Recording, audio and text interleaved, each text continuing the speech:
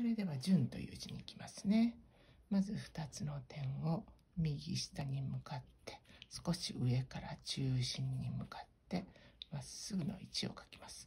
その幅よりも狭くして横の方が、えー、縦よりも短いです。そしたら2つの点を、まあ、半縦の半分より半分か下ぐらいですね。左の線より下がらないように。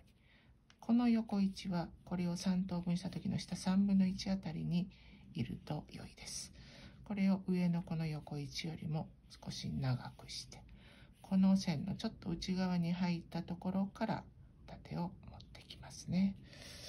まあ、似たような長さですかね。上の方に点。じゃあ、芯を書きますね。